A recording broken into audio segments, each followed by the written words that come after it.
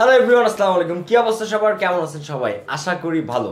আচ্ছা আপনার কি টেন্সে কোনো প্রবলেম আছে? লাইক আমি যদি জিগাই, বলেন তো প্রেজেন্ট কন্টিনিউয়াস টেন্সের স্ট্রাকচার কি? আপনি কি সাথে সাথে বলতে পারবেন?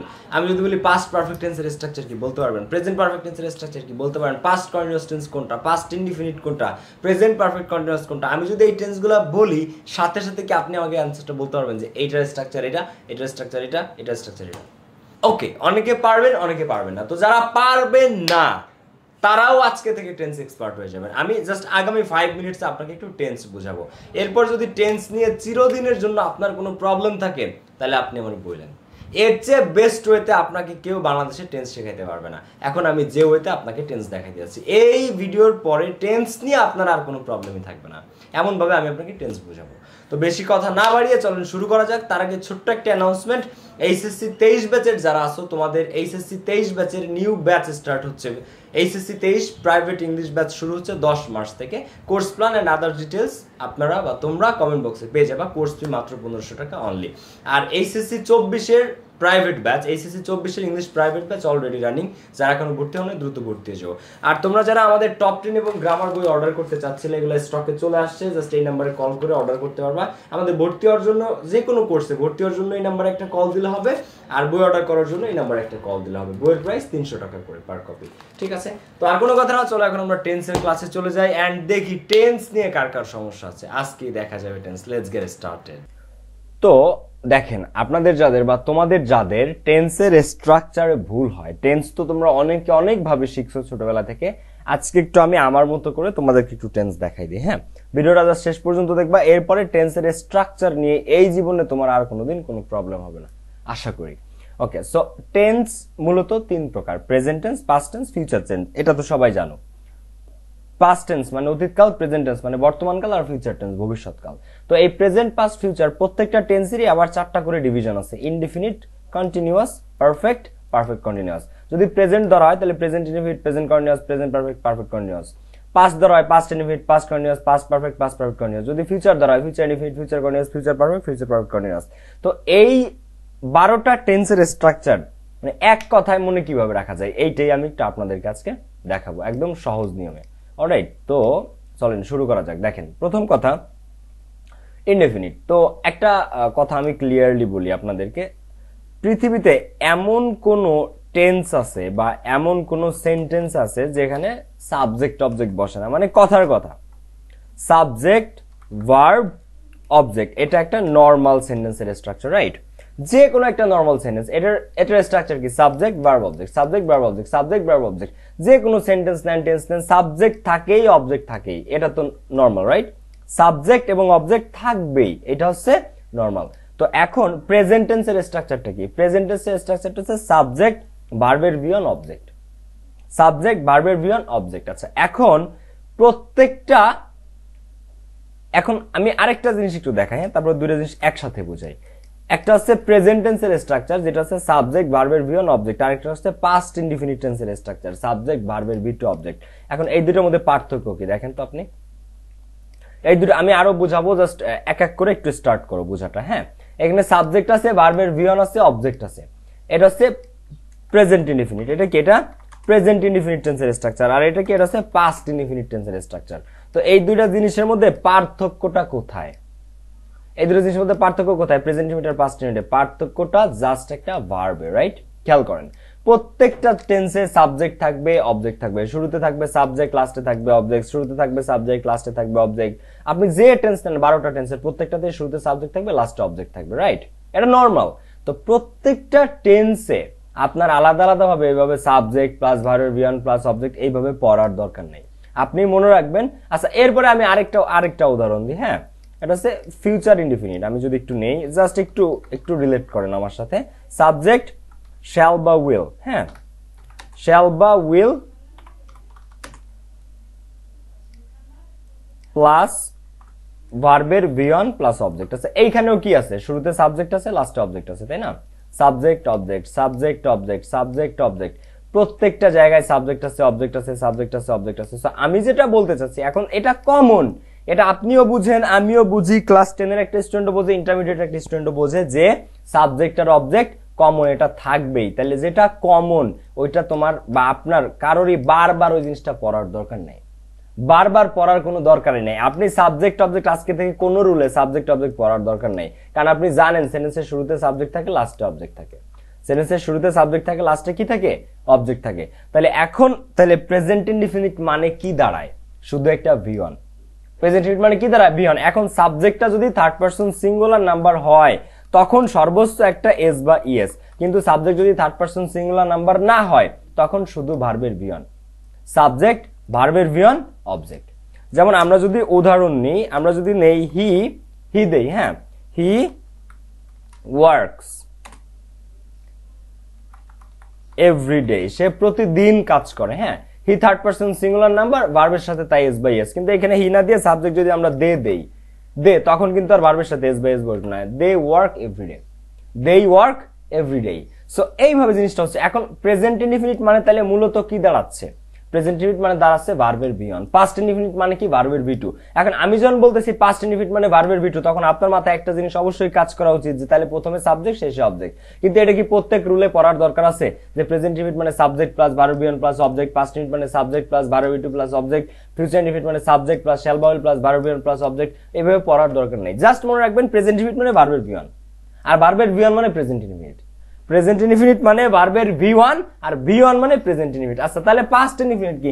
পাস্ট ইনফিনিট মানে ভার্বের ভি টু পাস্ট ইনফিনিট মানে ভার্বের কোন ফর্ম ভি টু একটা সেন্টেন্সের সাথে, একটা টেন্সের সাথে আরেকটা টেন্সের পার্থক্য কিসে হয়? ভার্বে হয়। আর কোনো পার্থক্য নাই। সাবজেক্ট এটাতেও আছে অবজেক্ট এটাতেও আছে। সাবজেক্ট অবজেক্ট সাবজেক্ট অবজেক্ট সব জায়গায় আছে। কিন্তু পার্থক্য কিসে? ভার্বে সো ভার্বের ডিফারেন্সটা মনে রাখতে হবে। প্রেজেন্ট ইনফিনিট মানে ভার্বের ভি ওয়ান পাস্ট ইনফিনিট মানে কি? ভার্বের ভি টু পাস্ট ইনফিনিট মানে কি? ভার্বের ভি টু যেমন আই গোয়ের বি টু ওয়েন্ট হোম আমি বাড়িতে গিয়েছিলাম। আই গোয়ের জায়গা জাস্ট কি দিলাম? আই ওয়েন্ট হোম এখন এটা যদি আমি প্রেজেন্ট ইনডিফিনিটে করি, তাহলে এটার কি হবে? I go home I go home এখানেও সাবজেক্ট আছে, এখানে অবজেক্ট আছে, এখানেও সাবজেক্ট আছে এখানে অবজেক্ট আছে। পার্থক্য কোথায়? এখানে গো ভার্বের ভি ওয়ান এখানে ওয়েন্ট ভার্বের ভি টু তো প্রত্যেকটা জায়গায় আপনার সাবজেক্ট অবজেক্ট দিয়ে পড়ার দরকার নাই। মনে রাখবেন প্রেজেন্ট ইনডিফিনিট মানে ভার্বের ভি ওয়ান পাস্ট ইনডিফিনিট মানে ভার্বের ভি টু প্রেজেন্ট ইনডিফিনিট মানে ভার্বের ভি ওয়ান আর পাস্ট ইনডিফিনিট মানে ভার্বের V two that's it simple আর কিচ্ছু না। তো আমরা যদি বল যখন বললাম যে আই ওয়েন্ট হোম ইয়েস্টারডে এখানে কি এটা? ওয়েন্ট ভার্বের ভি টু আর কোনো ডিফারেন্সেস এখানে নাই। প্রেজেন্ট ইনডিফিনিট মানে ভার্বের ভি ওয়ান পাস্ট ইনডিফিনিট মানে ভার্বের ভি টু এটা দ্বারা মনে রাখবেন। এবার ফিউচার ইনডিফিনিট মানে কি? ফিউচার ইনডিফিনিট মানে শ্যাল বা উইল প্লাস ভার্বের ওয়ান তো অবশ্যই শুরুতে কি বসবে একটা সাবজেক্ট লাস্টে কি বসবে একটা অবজেক্ট আমি যখন বলতেছি পাস্ট ইনডিফিনিট মানে ভার্বের ভি টু তখন আপনার মাথায় এই জিনিসটা আসবে। যে পাস্ট মিনিট মানে যদি ভি টু হয়, তার মানে অবশ্যই আগে কি থাকে? সাবজেক্ট আর লাস্টে কি থাকে? অবজেক্ট প্রেজেন্ট মিনিট মানে ভার্বের ভি ওয়ান অবশ্যই শুরুতে কি থাকবে? সাবজেক্ট লাস্টে কি থাকবে? অবজেক্ট সো এইটা হচ্ছে ইনডিফিনিট গেল। প্রেজেন্ট ইনডিফিনিট পাস্ট ইনডিফিনিট আর ফিউচার তো ফিউচার ইনডিফিনিট কি? শ্যাল বা উইল প্লাস ভার্বের ভি ওয়ান শ্যাল বা উইল প্লাস ভার্বের ভি ওয়ান তো অবশ্যই শুরুতে সাবজেক্ট তার আমরা সাবজেক্ট নিলাম। ধরেন আমরা নিলাম ইউ শ্যাল বা উইলের মধ্যে নিলাম উইল আয়ের পরে আই আর উয়ের পরে একমাত্র শ্যাল দেবেন আর বাদ বাকি সব জায়গায় উইল দিবেন। আমরা যদি এখানে আই দিই, তাহলে আয়ের পরে আই আর উই এই দুইটা সাবজেক্টের পরে একমাত্র শ্যাল দিবেন আদার সব জায়গায় উইল দিবেন। তাহলে আই আই আই আর উয়ের পরে শ্যাল দিবেন। এখন আই আর উই এর পরে উইল দিলে কি ভুল হবে? না। Will universal I R we এর পরে উইল দিলেও ভুল হবে না, কিন্তু আই আর উই এর পরে শ্যালটা একটু মোর অ্যাপ্রোপ্রিয়েট এছাড়া আর কিছু না। তো I shall go home that's it I shall go home তো শ্যাল বা will plus verb V one অবশ্যই শুরুতে কি নিছে সাবজেক্ট লাস্টে কি নিছে অবজেক্ট কিন্তু প্রত্যেকটা রুলসে পড়ার দরকার নাই যে যে সাবজেক্ট প্লাস ভার্বের V one plus object subject plus shall বা will plus verb V one plus object এরকম না। জাস্ট ভার্বটা মনে রাখবেন। প্রেজেন্ট ইনডিফিনিট মানে ভার্বের বিয়ন পাস্ট ইনডিফিনিট মানে ভার্বের ভি টু ফিউচার ইনডিফিনিট মানে শ্যাল বা উইল প্লাস ভার্বের ভি ওয়ান ওকে এইটা গেল ইনডিফিনিট ওকে এইবার আমরা নেক্সটটাতে যাব। সেইটা কি? সেইটা হচ্ছে এখন আপনাদের চোখ খুলে যাবে, এখন আমি যেটা বলতে যাচ্ছি। মনে রাখবেন আজকে থেকে কন্টিনিউয়াস মানেই ভার্বের সাথে আইনজি আপনি যে কন্টিনিউয়াস করেন প্রেজেন্ট কন্টিনিউয়াস হোক পাস্ট কন্টিনিউয়াস হোক, আর ফিউচার কন্টিনিউয়াস হোক। যে কন্টিনিউয়াসই আপনি করেন না কেন, মনে রাখবেন কন্টিনিউয়াস মানেই ভার্বের সাথে কি? আইএনজি তো যখন আমরা প্রেজেন্ট কন্টিনিউয়াস করব, যখন আমরা কি করব? প্রেজেন্ট কন্টিনিউয়াস তো প্রেজেন্ট কন্টিনিউয়াস যখন করব, তখন আমি কিন্তু একটা জিনিস বারবার বলছি সাবজেক্ট অবজেক্ট প্রত্যেকবার পড়ার দরকার নাই। শুরুতে সাবজেক্ট লাস্টে অবজেক্ট এটা থাকবেই। তো কন্টিনিউয়াস মানেই ভার্বের সাথে আইএনজি তো প্রেজেন্ট কন্টিনিউয়াস মানে কি? এম ইজ আর প্লাস ভার্বের সাথে ING am is are plus ভার্বের সাথে আইএনজি ভিং দিলাম আমি হ্যাঁ? ভিং মিন্স আমি এখানে বোঝাতে চাচ্ছি ভার্বের সাথে আইএনজি আপনারা একটু জাস্ট একটা কোড হিসেবে এটাকে ধরতে পারেন হ্যাঁ? ভিং ভার্ব প্লাস আইএনজি আচ্ছা এইটা। এবার পাস্ট ইনডিফিনিট মানে কি? এই সেম থিং জাস্ট অ্যামিজারের জায়গায় ওয়াজ বা ওয়ার প্লাস ভার্বের সাথে আইএনজি ওয়াজ বা ওয়ার প্লাস ভার্বের সাথে আইএনজি আছে। ফিউচার কন্টিনিউয়াস মানে কি?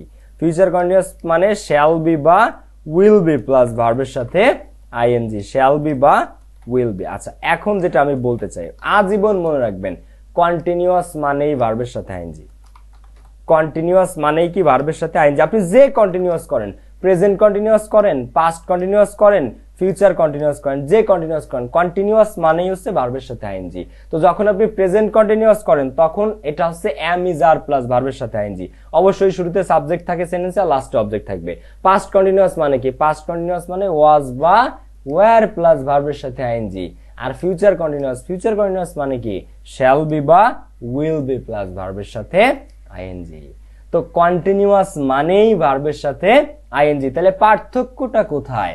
প্রেজেন্ট কন্টিনিউয়াস মানেও ভার্বের সাথে আইএনজি পাস্ট কন্টিনিউয়াস মানেও ভার্বের সাথে আইএনজি ফিউচার কন্টিনিউয়াস মানেও ভার্বের সাথে আইএনজি পৃথিবীর যে কন্টিনিউয়াস করেন আপনি ভার্বের সাথে আইএনজি দিতেই হবে। তাহলে পার্থক্য কোথায়? সাবজেক্ট থাকতেছে অবজেক্ট থাকতেছে আইএনজি থাকতেছে। সাবজেক্ট অবজেক্ট আইএনজি তিনটাই কমন তাহলে present continuous past continuous future continuous এর মধ্যে পার্থক্য কিসে?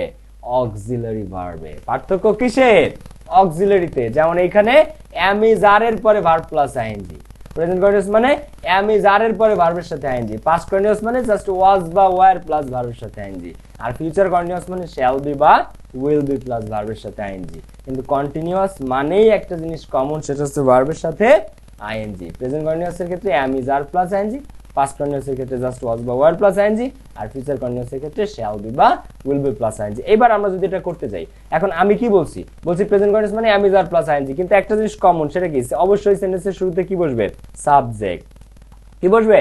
সাবজেক্ট তাহলে আই দিলাম, এবার আয়ের পরে কি বসে? এম এবার লার্ন যদি একটা ভার্ব নিই আমি লার্ন তাহলে এর সাথে ING I am learning English আমি টিচিং তোমরা লার্নিং কিন্তু ফর এক্সাম্পল আমি এখানে দিলাম লার্নিং ইংলিশ তো এইটার আমরা যদি পাস্ট কন্টিনিউয়াসটা করি, তখন কি হবে এখানে? কি চেঞ্জ আসবে? কিচ্ছু না জাস্ট এই আইস জায়গা আয়ের পরে আম আছে, এখানে একটা ওয়াজ বসবে। আই ওয়াজ লার্নিং ইংলিশ এটাকে যদি আমরা ফিউচার কনে করতে চাই ফিউচার কন্টিনিউয়াসে তাহলে এটা কি আসবে? আই শ্যাল বি বা I will be learning English I shall be learning English tomorrow এখানে দিতে পারো ইয়ে স্টার্ট এই জিনিসগুলা দিতে পারো। দ্যাটস ইট সিম্পল তাহলে কন্টিনিউয়াস মানে এখন প্রত্যেকটা জায়গায় আমরা কি দিছি? সাবজেক্ট আর অবজেক্ট সাবজেক্ট অবজেক্ট তো ইউনিভার্সাল এটা তো সার্বজনীন, এটা তো তোমাকে পৃথিবীর সব সেন্টেন্সে সব সব টেন্সে দিতে হবে। বাট বিষয়টা এরকম আর কি। সো কন্টিনিউয়াস মানেই ভার্বের সাথে আমি জিনিসটা বুঝাইতে পারছি? আপনাকে যদি এখন আমি বলি যে, ভাইয়া প্রেজেন্ট ইনফিট প্রেজেন্ট কন্টিনিউয়াস টেন্সের স্ট্রাকচারটা বলেন। তখন আপনি চিন্তা করুন, ও ভাইয়া কন্টিনিউয়াস বলছে না প্রেজেন্ট কন্টিনিউয়াস আচ্ছা কন্টিনিউয়াস মানেই তো আইএনজি। তাহলে প্রেজেন্ট কন্টিনিউয়াস মানে কি জানো? এম ইজ আর প্লাস আমি তোমাকে বললাম, আপনার সাথে আমার দেখা হলো রাস্তায়, মনে করেন। আমি বললাম যে আচ্ছা ভাইয়া পাস্ট কন্টিনিউয়াস টেন্সের স্ট্রাকচারটা বলতো?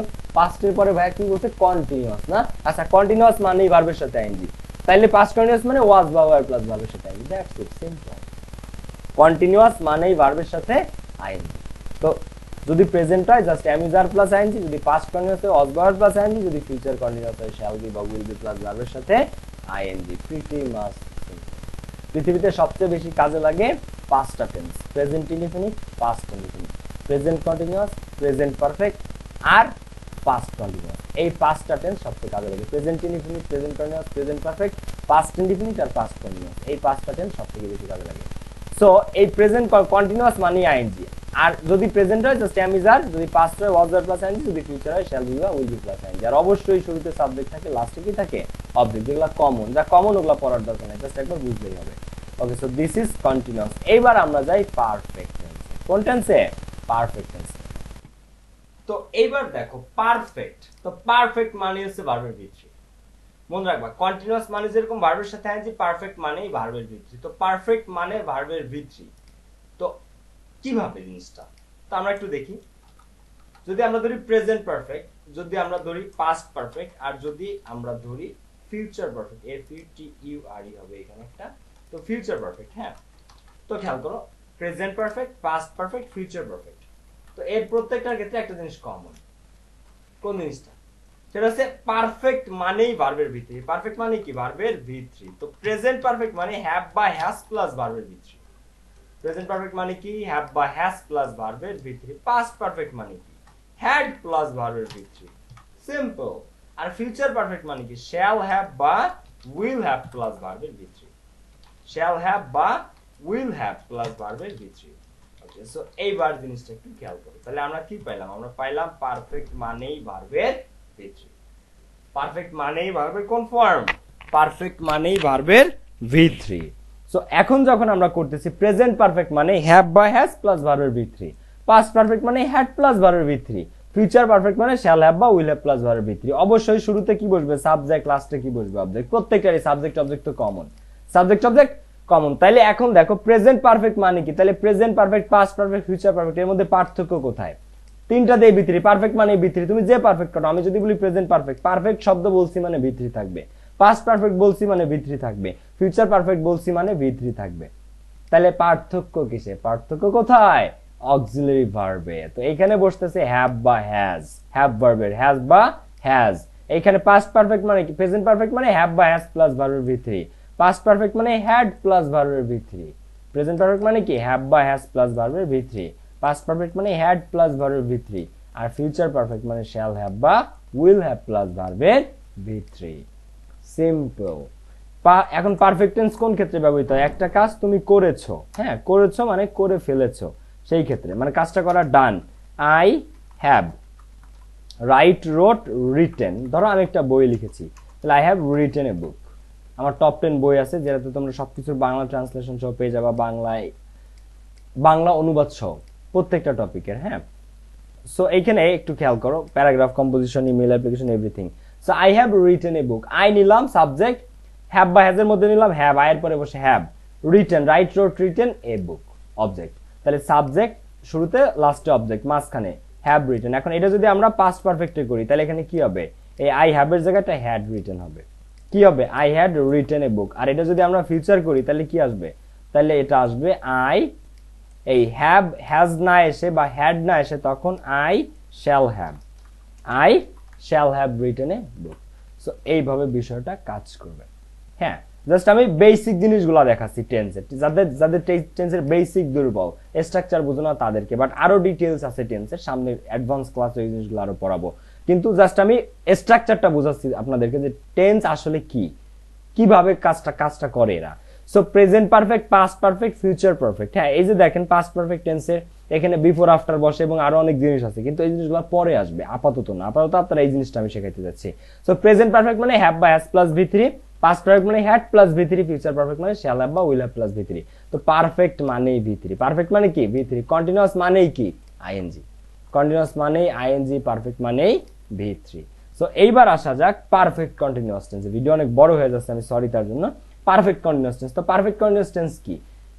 পারফেক্ট কন্টিনিউয়াস টেন্স মানে বিন প্লাস ভার্বের সাথে আইএনজি পারফেক্ট এটা সবচেয়ে কম কাজে লাগে এই টেন্সটা যদিও। বিন প্লাস ভার্বের সাথে আইএনজি তো প্রেজেন্ট পারফেক্ট কন্টিনিউয়াস মানে হ্যাভ বা হ্যাজের পরে বিন প্লাস ভার্বের সাথে আইএনজি পাস্ট পারফেক্ট কন্টিনিউয়াস মানে হ্যাডের পরে বিন প্লাস ভার্বের সাথে আইএনজি ফিউচার পারফেক্ট কন্টিনিউয়াস মানে শ্যাল হ্যাভ বা উইল হ্যাভ এর পরে বিন প্লাস ভার্বের সাথে আইএনজি দেখেন কন্টিনিউয়াস মানে ভার্বের সাথে আইএনজি পারফেক্ট মানে ভার্বের থ্রি কিন্তু পারফেক্ট কন্টিনিউয়াস মানে বিন প্লাস ভার্বের সাথে আইএনজি বিন প্লাস ভার্বের সাথে আইএনজি বিন প্লাস ভার্বের সাথে যে পারফেক্ট কন্টিনিউয়াস আপনি করেন না কেন যদি প্রেজেন্ট পারফেক্ট কন্টিনিউয়াস করেন, তাতেও বিন প্লাস ভার্বের সাথে আইএনজি থাকবে। যদি পাস্ট পারফেক্ট কন্টিনিউয়াস করেন, তাতেও বিন প্লাস ভার্বের সাথে আইএনজি থাকবে। যদি ফিউচার পারফেক্ট কন্টিনিউয়াস করেন, তাতেও বিন প্লাস ভার্বের সাথে আইএনজি থাকবে। শুধু চেঞ্জেস কিসে? এই অক্সিলারিতে হ্যাভ বা হ্যাজ প্রেজেন্ট পারফেক্ট কন্টিনিউয়াসে পাস্ট পারফেক্ট কন্টিনিউয়াসে হ্যাড প্লাস বিন প্লাস ভার্বের সাথে আইএনজি ফিউচার পারফেক্ট কন্টিনিউয়াস টেন্সে শ্যাল হ্যাভ বা উইল হ্যাভ এর পরে বিন প্লাস ভার্বের সাথে আইএনজি তো আমি আপনাদেরকে উদাহরণ সহ দেখাই জিনিসটা হ্যাঁ? তো যেমন ইট হ্যাজ বিন আমরা যদি প্রেজেন্ট পারফেক্ট কন্টিনিউয়াস টেন্স করি বিন প্লাস ভার্বের সাথে আইনজি রেইন মনে করেন, তাহলে রেইনিং আচ্ছা আমি আমার আরেকটা উদাহরণ ধরেন, সে তিন ঘণ্টা ধরে পড়তেছে। হি হ্যাজ বিন তো reading he has been reading সকাল থেকে পড়তেছে হ্যাঁ সিন্স মর্নিং কাল, আগামীকাল তার পরীক্ষা যেন আজকে সকাল থেকে সে পড়ালেখা করতেছে মনে করেন। তো he has been reading since morning সকাল থেকে সে পড়তেছে সকাল থেকে। তাহলে এখন এইখানে দেখেন বিন প্লাস ভার্বের সাথে আইএনজি একটা সেকেন্ড আমি একটু কালো করে দিই। বিন প্লাস ভার্বের সাথে আইএনজি বিন রিডিং বিন নিয়েছি বিন প্লাস ভার্বের সাথে আইএনজি ভার্ব কে রিড রিডের সাথে আমরা আইএনজি নিয়েছি। আচ্ছা, এইটাকে আমরা যদি পাস্ট পারফেক্ট কন্টিনিউয়াস টেন্স করি তাহলে এখানে চেঞ্জটা কি আসবে জানেন? He had been reading he had been reading তো এইখানে এভরিথিং ইজ সেম খেয়াল করেন এভরিথিং এখানেও সাবজেক্ট আছে অবজেক্ট আছে সিন্স মর্নিং সিন্স মর্নিং এনে বিন প্লাস ভার্বের সাথে এনজি বিন প্লাস ভার্বের সাথে এনজি শুধু পার্থক্য হয়েছে কোথায়? হ্যাডে এখানে হ্যাভ বা হ্যাজ আর এখানে past perfect continuous past perfect continuous এখানে পার্থক্যটা কোথায় হচ্ছে? এখানে পারফেক্ট পার্থক্যটা হচ্ছে জাস্ট অক্সিলারিতে পার দেখো পারফেক্ট কন্টিনিউয়াস মানে বিন প্লাস ভার্বের সাথে আইএনজি শুধু প্রেজেন্ট পারফেক্ট কন্টিনিউয়াস মানে হ্যাভ বা হ্যাজ এর পরে বিন প্লাস ভার্বের সাথে আইএনজি যেমন আমরা এখানে নিয়েছি হ্যাজ প্লাস ভার্বের সাথে বিন প্লাস ভার্বের সাথে আইএনজি এখানে হ্যাড হ্যাড এর পরে বিন প্লাস ভার্বের সাথে আইএনজি আর এবার আমরা ফিউচার পারফেক্ট কন্টিনিউয়াস টেন্স যদি করতে যাই, তাহলে এই সেম জিনিসটা জাস্ট কি হবে তখন? হি হ্যাড না। তখন হি শ্যাল হ্যাভ বা উইল হ্যাভ তো হির পরে উইল হ্যাভ তোমরা আই এর পরে শ্যাল দিবা আর সব জায়গায় উইল দিবা। তো he will have been reading এখন এইখানে আমরা একটা ভবিষ্যতের সাল দিব আমরা, ঠিক আছে? He will have been reading সে পড়তে থাকবে, কখন পড়তে থাকবে, আমরা একটা সাল দেয়া যায়। তো আমরা এখানে দিতে পারি he will have been reading from January হ্যাঁ ধরো সে জানুয়ারি থেকে পড়া শুরু করবে সাপোজ আমরা বলি না নতুন বছর এক তারিখ থেকে পড়বে এরকম। তো he will have been reading এখন দেখো, তিনটা জায়গায় বিন প্লাস ভার্বের সাথে এনজি বিন প্লাস ভার্বের সাথে এনজি বিন প্লাস ভার্বের সাথে এনজি শুধু পার্থক্য কোথায় হয়েছে? অক্সিলারিতে এখানে আছে হ্যাভ বা হ্যাজের পরে বিন প্লাস ভার্বের সাথে এনজি এখানে হ্যাড প্লাস বিন হ্যাডের পরে বিন প্লাস ভার্বের সাথে এনজি আর এখানে শ্যাল হ্যাভ বা উইল হ্যাভ এর পরে বিন প্লাস ভার্বের সাথে এনজি সো এইভাবে আমি টেন্স পড়ানোর জন্য আজকের ক্লাসটা মূলত। কন্টিনিউয়াস মানেই ভার্বের সাথে আইএনজি পার্থক্য কোথায়? অক্সিলারিতে was were shall be বা will be পারফেক্ট মানে ভার্বের ভিতরে। হ্যাভ বা হ্যাজ প্লাস হ্যাড পরেরটা প্রেজেন্ট প্রেজেন্ট মানে প্রেজেন্ট পারফেক্ট মানে হ্যাভ বা হ্যাজের পরে ভার্বের সাথে ভিতরি। পাস্টেরটা ভিতরি নিশ্চিত। পাস্ট পারফেক্ট পারফেক্ট মানেই ভার্বের ভিতরি। শুধু প্রেজেন্টে হ্যাভ বা হ্যাজের পরে ভিতরি। পাস্ট টেন্সে হ্যাডের পরে ভিতরি আর ফিউচারে শ্যাল হ্যাভ বা উইল হ্যাভের পরে ভিতরি। কন্টিনিউয়াস মানেই আইএনজি পারফেক্ট মানেই ভিতরি পারফেক্ট কন্টিনিউয়াস মানে বিন প্লাস ভার্বের সাথে আইএনজি পারফেক্ট কন্টিনিউয়াস মানে বিন প্লাস ভার্বের সাথে আইএনজি শুধু অক্সিলারিতে ডিফারেন্স হবে। প্রেজেন্ট পারফেক্ট কন্টিনিউয়াস মানে হ্যাভ বা হ্যাজের পরে বিন প্লাস বিন প্লাস ভার্বের সাথে আইএনজি পাস্ট পারফেক্ট কন্টিনিউয়াস মানে হ্যাডের পরে বিন প্লাস ভার্বের সাথে আইএনজি ফিউচার পারফেক্ট কন্টিনিউয়াস মানে শ্যাল হ্যাভ বা উইল হ্যাভের পরে বিন প্লাস ভার্বের সাথে আইএনজি এবার আমি আপনাদেরকে একটু বলে দিই সব থেকে পাঁচটা টেন্স খুব ভালোভাবে জানতে হবে। Present indefinite present continuous present perfect আর পাস্ট ইনডিফিনিট পাস্ট কন্টিনিউয়াস এই পাঁচটা টেন্স সব থেকে গুরুত্বপূর্ণ। তো ঠিক আছে, আজকের ক্লাসটা এই পর্যন্ত। অনেক লম্বা হয়ে গেল যদিও সরি আমি তার জন্য। আবার নেক্সট ক্লাসে দেখা হবে। আর ভিডিওগুলো অবশ্যই ফ্রেন্ডদের সাথে শেয়ার করবেন। আর ক্লাসটা ভালো লাগলে কমেন্টে নিশ্চিত জানাবেন। চ্যানেল সাবস্ক্রাইব করে না থাকলে এখনই সাবস্ক্রাইব করেন। এন্ড যদি ফেসবুকে দেখে থাকেন, তাহলে এখন একটা লাইক দিয়ে দেন। দেখা হবে নেক্সট ভিডিওতে সি আল্লাহ হাফিজ। আসসালামু আলাইকুম। আর হ্যাঁ তেইশের নতুন ব্যাচ শুরু হচ্ছে। তেইশের ব্যাচে যারা এখনও ভর্তি হন নাই, দ্রুত ভর্তি হয়ে যান। আর চব্বিশের ব্যাচও রানিং সো যারা চব্বিশের স্টুডেন্ট আছে, তারা চব্বিশে, যারা তেইশের স্টুডেন্ট আছে, তারা তেইশের ব্যাচে ভর্তি হয়ে যান। দেখা হচ্ছে নেক্সট ক্লাসে সি আল্লাহ হাফেজ। আসসালাম